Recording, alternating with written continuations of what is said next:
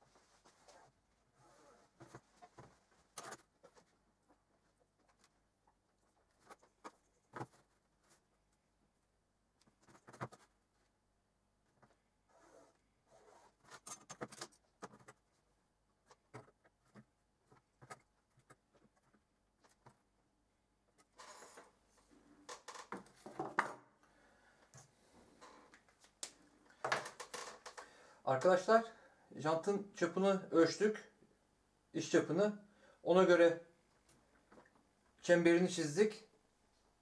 Arka rublenin ve üzerine zincir geldiği zaman ki mesafesini ölçüp onu çizdik.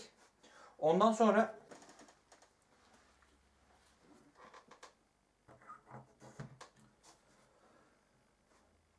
jantellerinde kesişim noktalarının olduğu yerleri işaretledik. Her bir tarafta 8 tane var. Yani 1, 2, 3, 4, 5, 6, 7, 8. Onların yerlerini işaretledik ve kesişim noktalarına denk gelen yerlere gördüğünüz gibi işaret koyduk.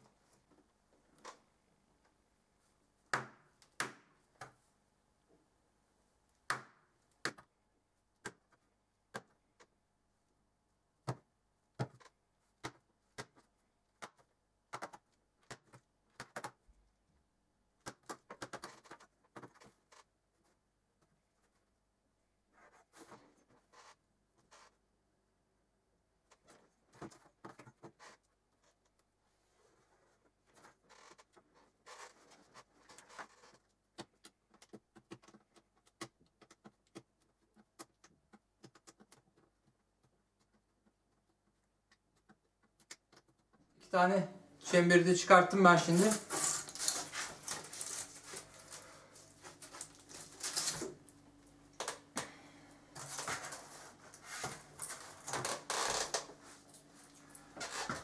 Buradaki şu açıklığa dikkat ederseniz şurası burasının genişliği ile merkezdeki genişlik aynı değil.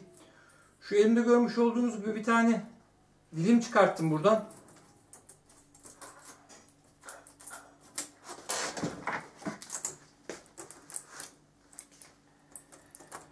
Buradaki açıklık 1 santim. Merkezde sıfıra ulaşıyor.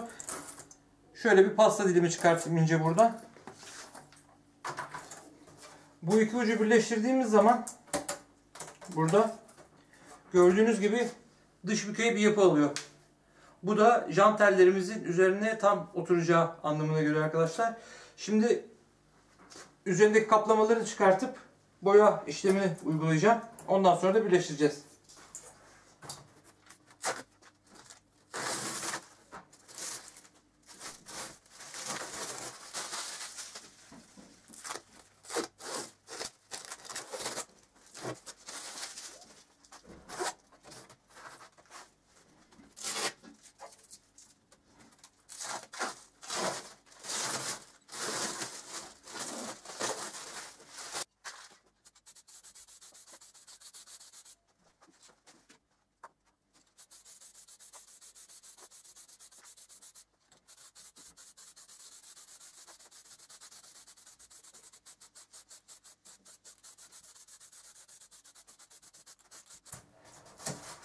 Kesme ve boyama işlemi tamamlandı. Şimdi bu diskleri e, jantımıza takacağız. Boya işi olarak ayrıca şöyle bir tane stencil hazırladım ben.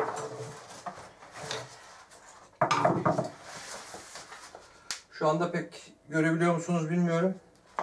Daha önce pek çok projede stencil yapıp kullanmıştık paylaşacağım. O yüzden bunun sistemsi nasıl hazırlandığına değinmiyorum. Onu işte yukarıdaki videoyu seyrederek yapabilirsiniz. Şimdi gelin e, disklerin üzerine güzel bir desen çizelim.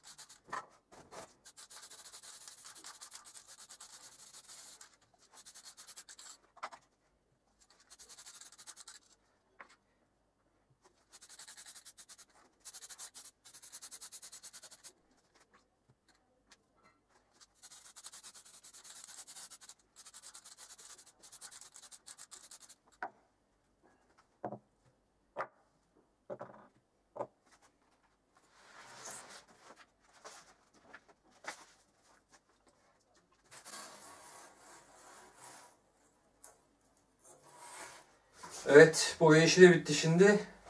Ee, kurumaya bırakmıştım. Birkaç saat iyice kurudu. Gerçekten en azından şu haliyle güzel gözüken jant kapakları oldu arkadaşlar. Şimdi sıra bunu jantımıza monte etmeye geldi. Sibop için bir tane açıklık bıraktık burada. Onu sibopun olduğu yere denk getireceğiz.